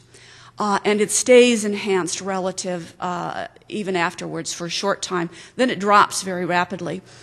I believe the most relevant part, however, is the very strong solar wind dynamic pressure pulse. This tends to be, in this type of analysis, smeared out. The individual storms have sharp pulses. Two hour averaging smears it out. But that is a very significant change at the 95% confidence level. And then if I look at the IMF clock angle, what's very interesting is that I see that the problem storms tend to have a neutral or slightly positive IMF uh, for long intervals ahead of the storm when the solar wind density is high. The way I am interpreting that is consistent with, the, uh, with Joe Borovsky's um, ideas about a superdense plasma sheet uh, development. And so this would be the perfect setup to allow this density, uh, is probably the wrong word, but for this density to entrain into the magnetosphere and, and form um, a cool, if not cold, plasma sheet. If we take it a little further, here's the CHAMP density again. I've kept it the same. I'm now looking at the uh, uh, geostationary ULF power density. I would really, uh, this is, these are PC5 waves. I'd really like to have uh, PC1 waves, but we don't have global views of that. So there is at least a statistical um, uh, report of um, uh, agreement between enhanced PC5 and PC1. So I'm using this as a little bit of a proxy. So apparently we do have enhanced wave activity um, in the in the magnetosphere. And now we will come to what I think is the crux of the matter. It may be these wave activity, this wave activity, it may be some other type of driving, but what we do, what we see when we look at the particles from the DMSP satellite, we look at the lowest energy particles, one tenth to three tenths keV, a significant dump of particles into the upper atmosphere. If we go to the 1 to 10 keV, these are known for their prodigious um, uh, impact on nitric oxide. These are nitric oxide producers. These 6.5 to 30 keV ions produce electrons that in this range that then produce more nitric oxide. So what we are, what I am believing about this system as we're following it through is that we do have reason for the strong field aligned currents. We have the low energy particles that will carry them. We have Poynting flux, which will increase, which will dissipate, increase temperature in the uh, upper atmosphere and help to uh, modulate the rate coefficient for uh, the production of nitric oxide, so we would expect that we would need a higher energy input. Uh, what we also have here, uh, we see that the midnight equatorward boundary is lower. We have a larger auroral zone, and then here is the nitric oxide. At the 99% confidence level, we can say that the nitric oxide for these problem storms is very enhanced relative to, to the control storms. And it is this nitric oxide, we believe, that is essentially with the IR radiation going on, even while the ener- energy is coming in, it is essentially quelling the disturbance in the thermosphere.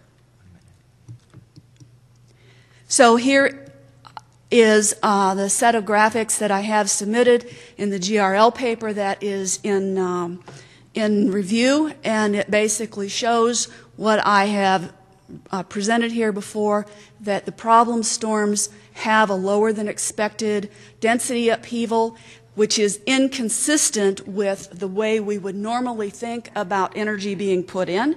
All of these indicators are that there's excess energy coming in.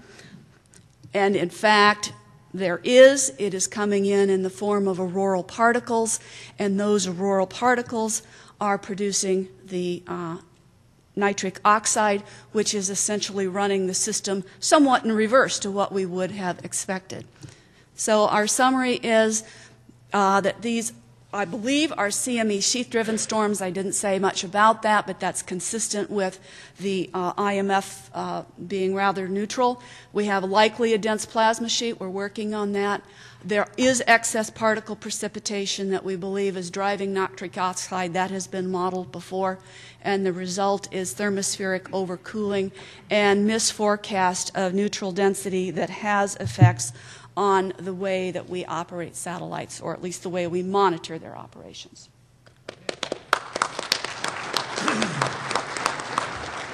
Thank you, Dolores. Any questions? I have one question. In any cases where the cooling actually wins over the uh, heating, the joule heating that you have? We see that in some individual events. Uh, well, we see extremely rapid cooling where a, a huge storm, the uh, density goes down to where below where it started. Uh, and actually, we believe that some of the events that are in the well-behaved category may, in fact, have that behavior. So we've got we've got a little bit of work to do to find out is there something that is really going wild with these events. But yes, it does happen. Okay, thank you. Anybody else? Oh yeah, Bill. Which aspects of the particle precipitation are responsible for the enhanced nitric oxide?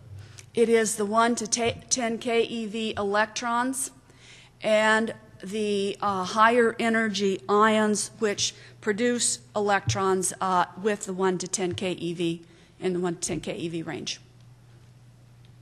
Okay, nobody else? Then let's move on to the next talk, which will be given by Howard Garner on the understanding of storm time Poynting flux variability, and the authors are Garner, Ober,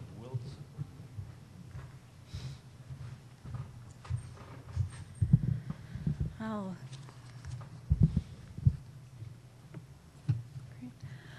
Well, good morning, everyone. Thanks for uh, letting me be here today. Um, I am brand new to this field, so I'm going to introduce myself very briefly. Uh, my name is Hillary Garner. I am a graduate student at Embry-Riddle Aeronautical University. I'm in the Master of Aeronautical Science program, uh, specializing in aeronautics and space studies. Um, in fact, I'm defending my thesis tomorrow morning, so pretty excited about that. Uh, just this was thrown into my schedule this week. Um, I had the opportunity this summer to uh, take part in a Space Scholars program at the Air Force Research Laboratory Space Vehicles Directorate, working on a, an ionosphere project uh, titled Understanding Storm Time Poynting Flux Variability. Uh, my mentor, Dr. Dan Ober, uh, either thought we had some interesting results or thought he would uh, baptize me by fire, so here I am. Um, I can say that because he's not here. So uh, let's go ahead and get started. Uh, as we know, during geomagnetic storms, Poynting flux and uh, precipitating energetic electrons, or J sub E as I will call it, deposit energy into the auroral oval. Uh, this, resulting, this results in heating and expansion of the ionosphere, which causes localized density perturbations that, of course, affect the aerodynamics of spacecraft. Precipitating electrons and auroral heating processes uh, have been studied quite extensively, allowing for the detailed mapping of electron flux energy. Uh, in contrast, Poynting flux and Joule heating, uh, which are more significant, have not been studied as extensively due to the greater variability uh, and also due to challenges in understanding the underlying physics that govern the processes. Therefore, our research goal was to increase the understanding of uh, the spatial and temporal variability in day side Earth directed Poynting flux during geomagnetic storms.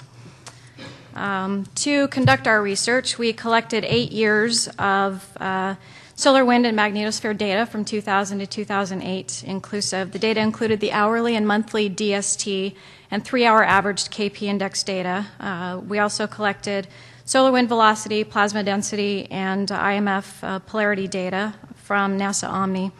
Uh, we collected Poynting flux, J sub E, and hemispheric power data from the DMSP F 15 satellite.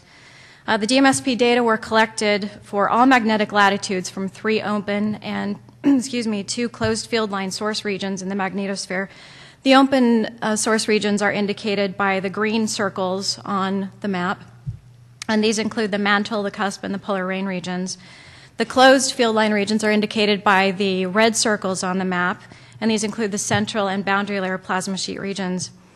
Uh, using just an Excel uh, for conditional formatting and formulas, I identified 36 large storms from all of the storms um, with, uh, with a DST or, or, excuse me, with a minimum DST or DST min of minus 93 to minus 183 nanotesla. I also identified 18 superstorms with a DST min of less than minus 184 nanotesla. Um, from those 54 storms, I identified 13, 13 large and five superstorms with uh, what I termed a classic storm structure, uh, as illustrated in the bottom right upper figure.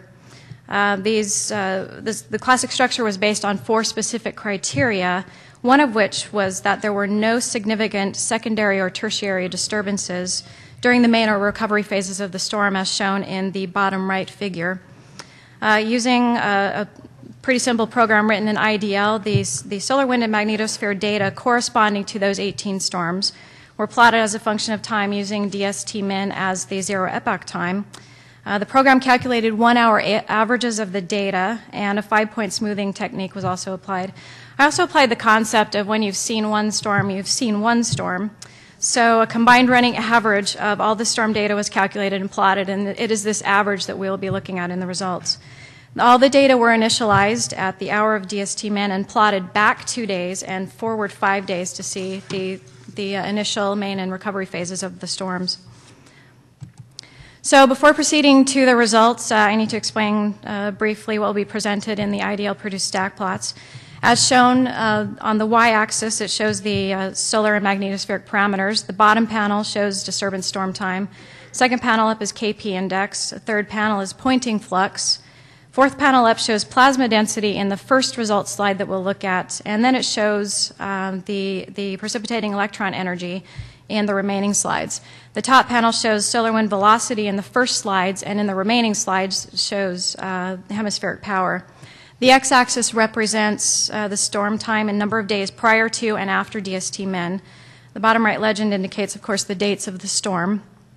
And uh, the combined running average of all the storm data that we'll be looking at is indicated by a black uh, a line overrunning all the storms. Also, we were primarily interested in, in looking at the time from DST enhancement as indicated by the black vertical line through sudden storm commencement or SSC as indicated by the green vertical line and uh, or to, P, to up to the time of DST min as indicated by the red vertical line. So this is the first results slide. This is a, a stack plot of the DST IMFBZ uh, plasma density and solar wind velocity for all of the magnetic source regions together. The left plot shows the 13 large storms, and the right plot shows the five superstorms. Again, it might be hard to see, but again, we're looking at the, the black line that's overrunning all the, the colored lines. This is the average of all the data. Uh, this results this slide pretty much just confirms what we already know about uh, the storm time phase events. Interestingly, though, plasma density for the large storms increased prior to DST enhancement, but it didn't appear to do so for the superstorms. Uh, also, the, the maximum plasma density occurred about halfway between sudden storm commencement and DST min for both groups. Solar wind velocity, which is shown in the top panels uh, for both groups, decreased to a minimum prior to SSC and then increased to a maximum at DST min. Uh, this occurred gradually for the storms, but it occurred very rapidly for the superstorms. Uh, maximum solar wind velocity, uh, as, as, also shown, was, was much higher for the superstorms than for the large storms. So this uh, is a results slide of uh, DST, KP, Poynting flux, JCB, and hemispheric power shown uh, for all the five source regions in the magnetosphere. As shown in the third panels down, uh, specifically for the large storms on the left, Poynting flux increased from 1 to 3 between SSC and DST min, and for the solar storms, it increased from 2 to 5 milliwatts per square meter. Uh, shown in the second panels down, uh, uh, for the large storms on the left, the energy deposited per square meter by the precipitating electrons um, remained at approximately half a milliwatt per square meter between SSC and DST min. Uh, it increased from about half a milliwatt per square meter to one milliwatt per square meter for the superstorms and remained steady at that level for the remainder of the storm. Um, hemispheric power in, in, the top panel uh, for the large storms increased gradually from 25 to 50 gigawatts between SSC and DST min. And for the superstorms, it increased very rapidly and stepwise from about 20 to 100 gigawatts. And then it decreased very rapidly after, after DST min. Uh, during recovery, uh, hemispheric power also fluctuated quite a bit more so than it did for the large storms. Uh, this is the results showing DST, KP, Poynting flux, uh, JSB for, and JSB for the 13 large storms for the central and boundary layer plasma sheet regions on closed field lines, as indicated in the left plot, and for the mantle, cusp, and polar rain regions on open field lines in the right plot. For the closed field line regions uh, on the left, Poynting flux increased from 2 to 3, and uh, JSB decreased about 3 tenths of a milliwatt per square meter. For open field lines on the right plot, uh, Poynting flux increased very rapidly from 1 to 8 prior to sudden storm commencement and remained there for about 12 hours. Uh, then it, it, then peaked to about 10 prior to DST min and then decreased to 5 milliwatts per square meter at, at DST min. There was a secondary peak to 8 uh, uh, milliwatts per square meter at the onset of the recovery phase. The energy deposited per square meter by the electrons did not appear to change appreciably uh, on open field line regions as indicated in the top plots. Um, this is the uh, this this slide is the same as the previous one, except it's for the superstorms. Uh, for the closed field line regions on the left, Poynting flux increased from uh, 3 to 10 milliwatts per square meter, uh, and then decreased very rapidly, where it remained steady for approximately 24 hours. Uh, electron energy flux decreased about three tenths of a milliwatt per square meter, uh, which is the same as for the large storms. For the open field line regions on the right, Poynting flux increased from 3 prior to SSC to 17 milliwatts per square meter at DST min. Uh, a secondary peak to 11 uh, occurred at the onset of the recovery phase, and a decrease to 6 which, uh, was, was followed that, uh, which was also, also followed by another tertiary peak to 8 milliwatts per square meter. Um, as with the 13 large storms, energy deposited per square meter by the electrons did not appear to change appreciably. So, for all storms, for all source regions, uh, solar wind velocity increased prior to sudden storm commencement and reached its maximum almost exactly halfway between sudden storm commencement and uh, DST min. The maximum solar wind velocity uh, was also higher and reached its maximum more rapidly for the superstorms than it did for the large storms. Uh, plasma density for the large storms increased prior to DST enhancement, but it didn't appear to do that for the large storms. Uh, plasma density also increased to the same maximum value or same maximum density value for both groups between sunstorm commencement and, and minimum DST. There's evidence that uh, the increase in plasma density may be, nece- may be a necessary precondition for the magnetosphere, and this certainly uh, would appear to, to show evidence for that as well. The energy deposited per square meter um, by the precipitating electrons did not appear to increase. However, hemispheric power did increase significantly by several factors, indicating that the area of the auroral oval increased. Um, Poynting flux peaked at DST min, DST min indicating that uh, the energy deposited per square meter increased. For the large and superstorms, the energy deposited per square meter by the electrons on closed field line regions uh, didn't increase or decrease. It remained at approximately 1 milliwatt per square meter the whole time. There's virtually no deposition uh, from open field line regions. For the large and superstorms, Poynting flux on the open and closed field line regions was significantly enhanced. Um, other studies, past and present, have, uh, have reported findings consistent with this study.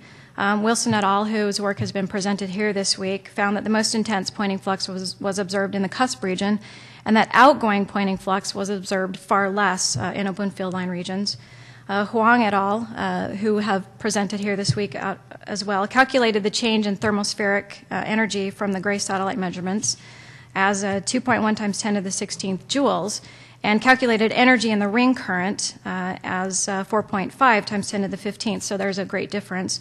They concluded that the bulk of the energy comes from open field line regions. Um, Burke and Segura uh, also in, in the past have, have found similar results. So, for future work, it's desired to develop a more detailed empirical model of Poynting flux to be used as input for ionosphere modeling, including spacecraft uh, drag prediction. And to that end, it's desired to uh, develop a Poynting flux index that would be similar, possibly, to the KP or hemispheric power indices. Uh, this would allow for the accurate mapping of, of Poynting flux spatial and temporal variability and would provide more detail for, for modeling. Um, we, we need to do a lot more research and uh, to, to understand the, the greater Poynting flux deposition from open field line regions. And finally, we need to, to study a lot more storms with a smaller DST, uh, which are much more frequent, as, as this will hopefully provide better statistical analysis and greater understanding of Poynting flux variability. So, thank you.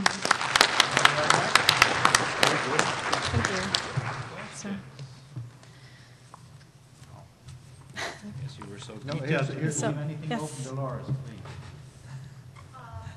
Can you say anything more about the um, Poynting flux deposition after um, storm minimum? There has been some talk about the assumption going into Space Command that that the energy deposition stops after storm minimum, and that's not what I assumed. I, I didn't observe that either. Um, I don't think it does stop, um, or you know, not not at DST min certainly. There there is there is still deposition, and I think that has a lot to do with the the rotation of the IMF, but the north-south rotation. Um, there is deposition during north during north uh, polarity as well, so I think that might account for that. Okay, no more questions, then let's move on to the next talk, which is again an invited talk Gilson uh, on OpenGGCM simulations of different types of storms with a coupled in a magnetosphere model by Gilson, oops, myself, Frank Toffoletto, mentioning Falk, Lee, and you. Okay, I'm looking for it here. Hold on a second. It says it's on the Mac. Oh, there it is. There we go. Uh, how do we get it on full screen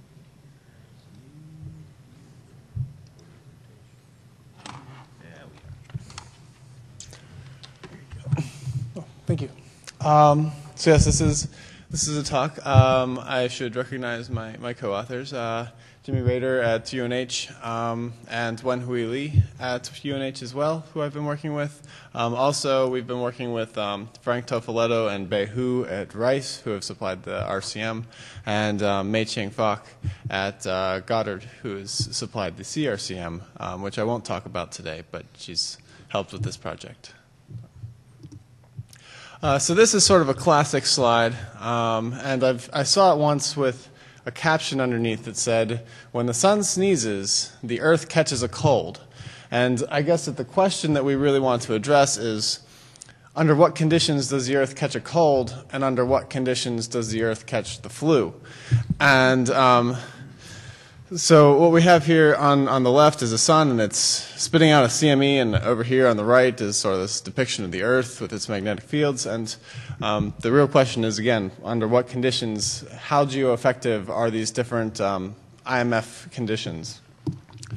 So associated with these CMEs are, are magnetic clouds, and they have these flux rope type structures. So the magnetic field rotates as, as it goes past you. And you kind of have eight different orientations, although you can be more oblique or less oblique. Um, but we're only going to talk about two of the, these orientations today. Um, we're going to go from northward IMF to southward IMF, um, rotating through minus BY, and then the opposite from southward IMF to northward IMF, again, rotating through negative BY. Um, these other flux rope structures I'll leave to a future study, I guess. Um, and so, one thing that uh, has been established about these flux ropes is that the kind of flux rope that you get is dependent on what portion of the solar cycle that you're sitting on, and and not just which portion of the solar. I guess if you go with the 22-year cycle, uh, which portion of that cycle you're actually sitting on. Uh, so you can see clearly here on, on the left I have a plot, and so in the top we have, what is that? That's the, the north-south bipolar signature, and on the second panel you have the south to north um, storms, just the number of them at any given uh, year, I suppose. And um, down the bottom, you have the, the sunspot number, which is sort of your classic indicator of, of your sunspot cycle. And so you can see that uh, as you go through your cycle, you, you end up you know, tracing out this almost sinusoidal like number of, of CMEs with a particular orientation um, during these different cycles.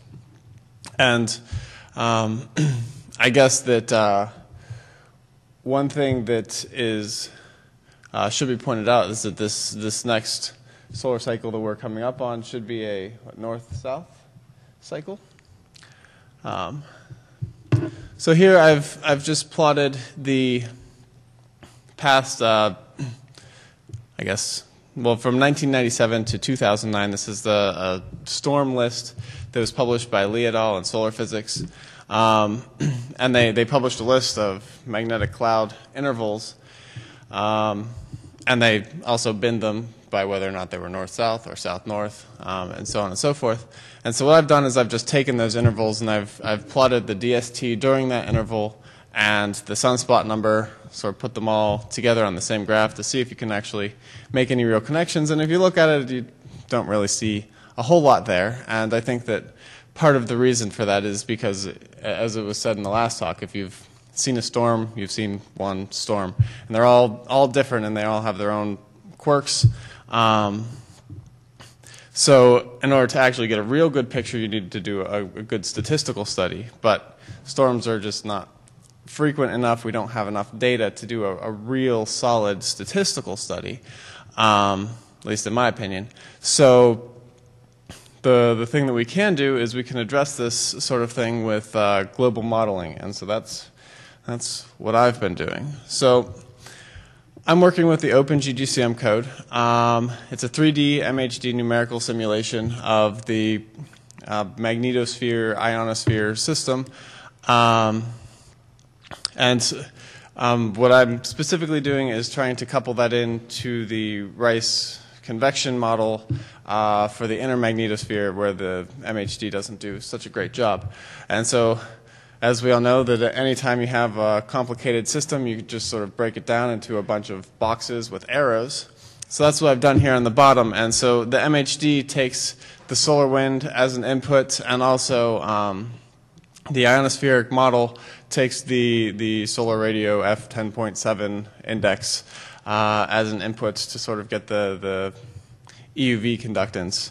Um, but also the MHD sort of passes, passes the, the potential and field line currents to the, um, the CTIM, the inner magnetosphere model, which then solves for the conductance, which you can then use to get the potential, pass that back as your inner boundary condition for the MHD.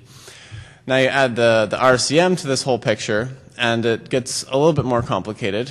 Um, with the RCM, you can sort of uh, use a Gallagher plasmasphere or not. You can um, you can take your precipitation directly from the RCM energy channels, or you can just you know fall back on what the MHD was giving you before. Um, there's a lot of different things in here that you can sort of a lot of little knobs you can try, um, and I guess this is the result of me trying a whole bunch of knobs, um, just trying to get this sort of firmed down. Um, but uh, yeah, so the, the moral of the story is that the MHD gives the RCM all of the inputs that it needs, and then you can use that to give back to the MHD and sort of nudge the inner magnetosphere pressure and density in order to actually build up uh, a real, realistic sort of ring current, and you can actually calculate a DST from that.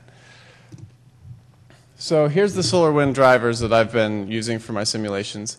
Um, so just to set the whole thing up, we usually do southward IMF for a couple hours. For here, I'm doing two and a half hours. Um, and then I sort of let it get to sort of a, a steady, a steady state. Um, after which I, I, have two different runs, one which goes southward and then northward.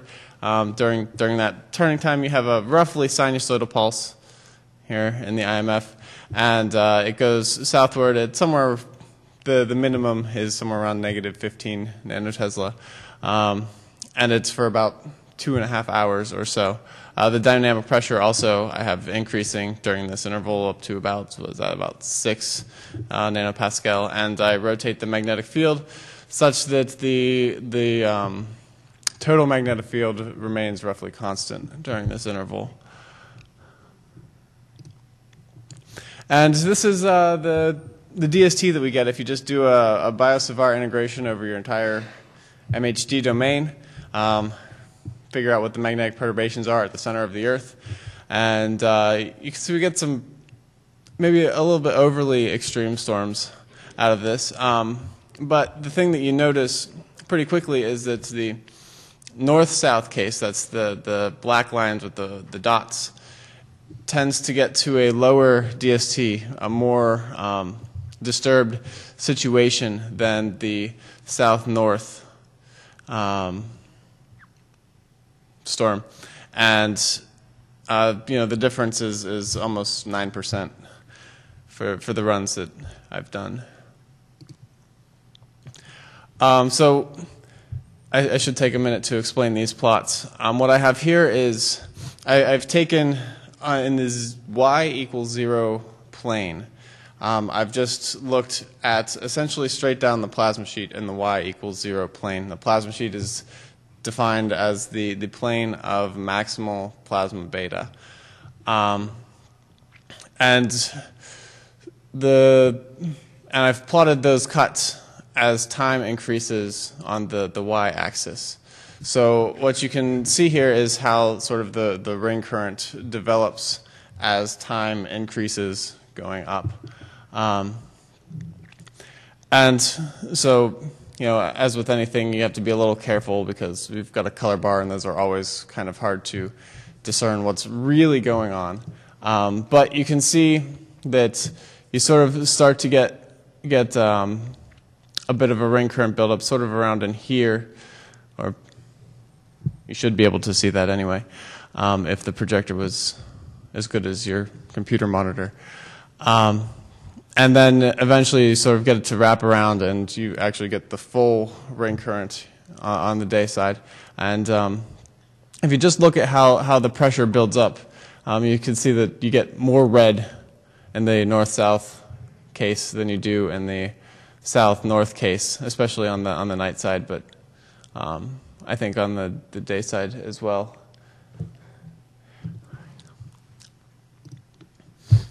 Um, so here I'm only looking at, at the night side, same, same format as before. And I don't know how well you can see it on the projector, um, but you can actually um, see how sort of some of this, a lot of the, the structure in these plots goes in this direction. Um, I don't, you can't tell if that's really coming out very well here, especially you can sort of see it down in here a little bit. Um, and so what that tells you is that this stuff, this plasma, is coming from the tail and moving inward, which is consistent with what I think you've, you've seen in, in other simulations with uh, the LFM, RCM, and, and that sort of thing. Um, and this is really what leads to our, our buildup of, of the ring current. Um, so this title, this uh, slide I've entitled the plasma sheet coolness. And that's because you can see that sort of in, in this, at least inner plasma sheet, during the north-south um, case, you get um, a cooler and more dense plasma sheet um, in the inner mag well, towards the, the inner magnetosphere region, um, which is consistent with, with this study by, by Wen Hui and his colleagues in 2009. Um, and so the thinking here is that the source population for the ring current is, since it's coming from the tail, um, this is cooler, more dense plasma. And uh, that, when you go southward, that brings all of that cool, dense plasma into the inner magnetosphere, and it becomes a more geo-effective storm because of, of that. Um, that's consistent with the interpretation by Varad et al. in 2005. So just uh, in summary, um, the OpenGGCM RCM simulation predicts a um, more extreme event for the north-southward polarity uh, magnetic clouds. Um, the simulation is, is nice because it removes any ambiguity as to like, is, are these events actually equivalent or not? Um, and there's still more work to be done. Uh, usually these clouds have a, a, sheath associated with them, which we've completely neglected, and it'd be interesting to know if that actually has some geoeffectiveness as well. Um, and yeah, we need to do, uh, still need to do more work exploring the various parameters and the coupling to get a better model. Thank you.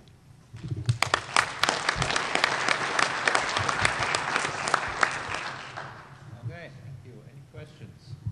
Ray? Can you go back to the solar wind input for uh, these spaces? This one? Uh, no, further back. Uh, way, way back. Yeah, wait. Here.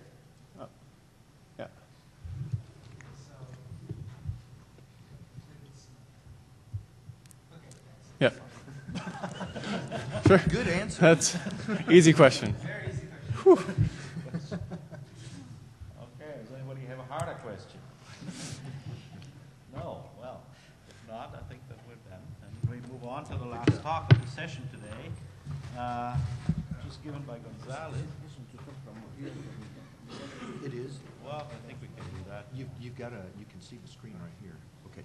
Okay. No, you want me to to do the slides for you? Yeah, but you want me to do the slides for you? Oh, no, we don't have a microphone. Well, you have to come up here. Okay. You have to come up here, or talk very loudly.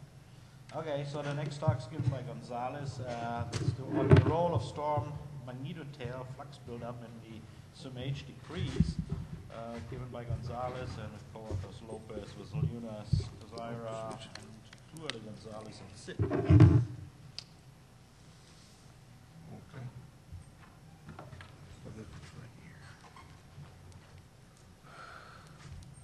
Yes, with, with uh, I can see here almost uh, at the side. Uh, the previous speakers did a very good job looking from here. Uh, that's probably why you gave them an applause. Also, yes. Oh, okay. So uh, I'll, I'll talk about uh, an uh, aspect of the of, of, of a study that we are doing with these uh, collaborators, uh, uh, concentrating on i- very intense storms of the solar cycle, uh, on the five very intense storms of solar cycle 23, and. Uh, I will be talking about the magnetospheric response aspect, and particularly with respect to the tail flux, uh, tail flux uh, influence on the de- uh, SYMH decrease.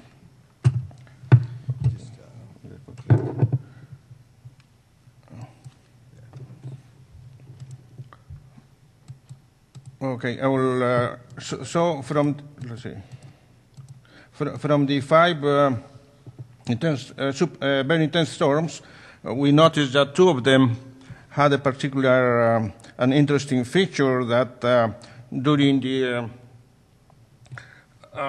during the phase, say, say, during the start, the initial part of the main phase, say,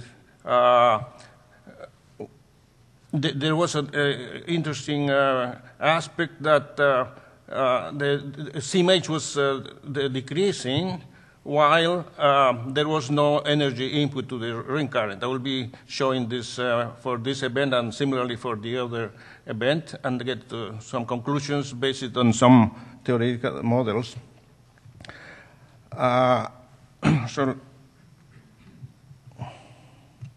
yeah, this is uh, we can see here the, DS, the SYMH response, uh, this is uh, pressure corrected. Uh, during the, this initial part of the main phase, uh, when there was, uh, in this case, a large pressure increase and BC was southward, uh, intensely southward, we're going to show that during almost half of the main phase, main phase decrease, uh, this is uh, this SYMH inc- increase uh, or decrease is uh, associated to the stretching of the field in the in the tail, and before the, some before the injections came into the ring current.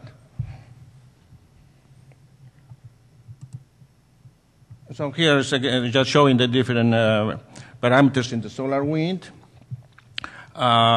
We can see the, we, we are also studying, but not I'm not going to talk in this uh, presentation, the interplanetary aspects uh, like uh, associated to this uh, storm.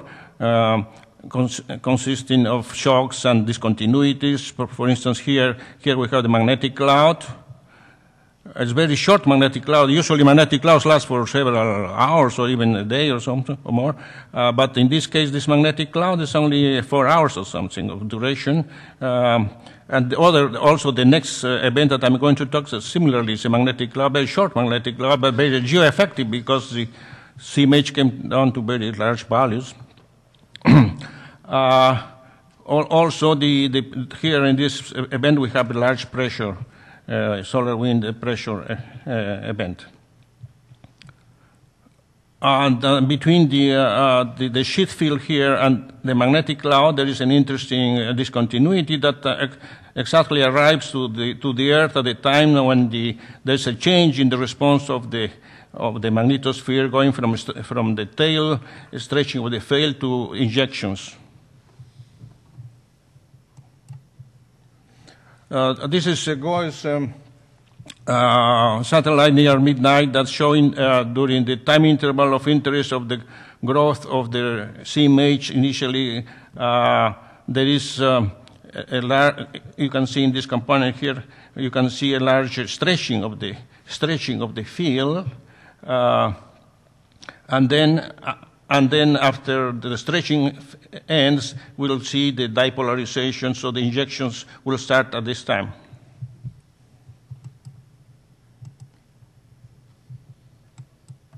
Uh, this is another satellite, GOES satellite, but this is kind of too, uh, too much, uh, too at the dusk, dusk, dusk region, but still one can see the, the, the stretching here in this component. Uh, so this, is, this shows the, the proton, the, the, the uh, pro- proton, geosynchronous uh, proton data, Los Alamos, and this satellite is the one that's near midnight here, so it's observing the, during the time of interest, this uh, the, here in this region, we don't have injections, proton injections, but then after the, the, di- the dipolarization event, we'll have the uh, injections. Similarly, for the electrons, uh, you can see in other satellites too, but this one particularly, that there is no injection of electrons during the time interval of the stretching. Uh, so now we would like to see, studying the stretching of the field, we would like to uh, uh, study the uh, polar cap um, increase, area increase, by studying several satellites at uh, uh, the particle precipitation, at, uh, so at the uh, high latitude, at, border of auroral and polar cap region, so we can see the border of the polar cap and the auroral region, so we can keep track of the growth of the uh, polar cap area and uh, try to uh, measure from, here, from this the tail flux associated to that growth. So for the, this is some data gap, but uh, the, the time, time of interest of the growth is actually from here to here. So uh, approximately one can see that this growth has been of the order of one gigaweber or so. So now we are going to, this is the second event, it's very similar to the previous one. Again, uh, we have a, a, a SYMH uh, here decrease, and um, about uh, one third, in this case, one third of the decrease, the initial decrease, is due to stretching uh, before the injections um, came uh, into the ring current. Again, again here, the, the, uh, this is the, the, the, the southward field uh, due to a magnetic cloud that's very short magnetic cloud, again, very geoeffective. And maybe, oh, this is a very important, interesting event that's uh, colleagues are studying here in the, the interplanetary aspects and solar, even solar aspects.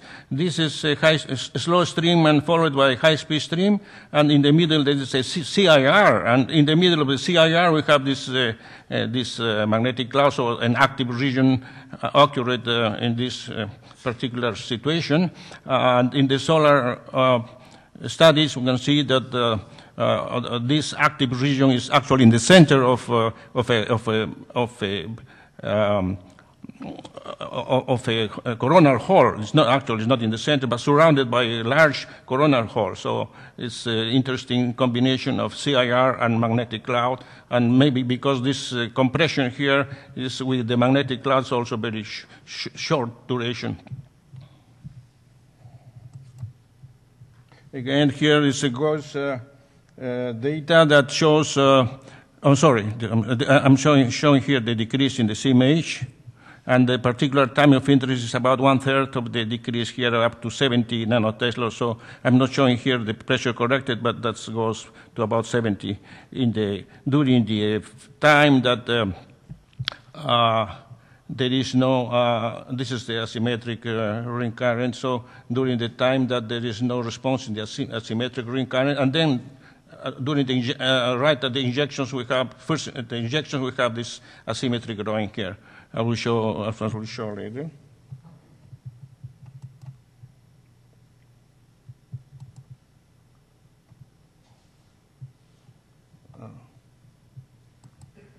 Okay, so this is uh, a, a GOES satellite uh, for this particular case that's showing uh, this particular in this uh, component that's a radial component the the the, dip, the dipolar the, I'm sorry the stretching the stretching uh, of the field during this time interval and then the dipolarization starts uh, at about this time. So again for this uh, event we have the Los Alamos uh, data of particle injections. In this case, the proton. Uh, in this uh, region, there is uh, uh, no injections of protons in the time interval of the stretching, and also the electrons show the similar, similar behavior. Uh, again, for this um, event, computation of calculation of the polar, polar flux associated to the stretching is, comes from about this during this time interval of the stretchings. In this particular, in this event, it's about half of gigaweber. Uh, the, the event was uh, not so intense. In the first event, the uh, peak DST arri- uh, SYMH arrived to one, 400 nanotesla or something. In this case, 200 nanotesla. So the growth is not as big as in the other, but it's consistent with the, with um, the, the values of the event, uh, parameters of the event. So now we just quickly go into this uh, uh, paper of uh, re- reinterpreting the Burton-McPherron-Russell equation for predicting DST. Uh, This is just the regular way of studying initially from the Sckopke-Parker, uh, Dessler-Parker-Spock th- uh, theorem, and then we get the DST, and uh, from this the the Barton et al. type of equation uh, with, with uh, DST corrected by pressure. The, besides the volume energy volume terms, we have the surface terms in the, that contribute to DST, and this is of course the magnetopause, the front side, the Chapman-Ferraro kind. Of, so from this we get the DST asterisk. So, but we have this here, this the tail surface current uh, contribution. So this uh, we get this equation that's the modified uh, Burton et al. equation. Uh, this is the, the, the, the injection term, and this is the tail stretching or tail build-up flux uh, contribution.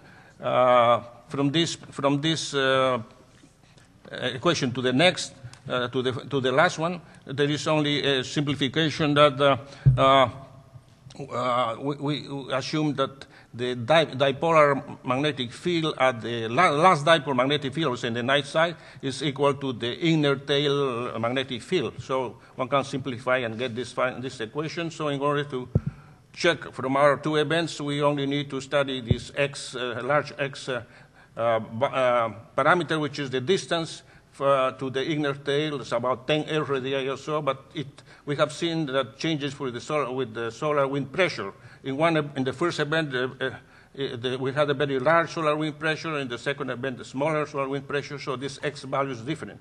But by initial computations, uh, because we have now the, the, the polar, uh, the, the tail flux uh, field uh, uh, int- integrated during the time of growth, from the polar cap area observations, we can compute this term, and it comes in a good, uh, i- i- in a good agreement with, with the observed data. So in general, so we have, we have to keep this general equation and, uh, and not, not only co- uh, concentrate on the Q. Q is important, of course, uh, after some time, and during the main phase, maybe at the, at the peak of the main phase, Q is the dominant term, but during the growth phase, maybe it goes from stretching to, to the contr- both contributions and then to finally to Q. And uh, we, for the modelers, we have to uh, advise them to keep track of the two terms here in the modified Burton equation as suggested by Vasyliunas. So my conclusions is are this.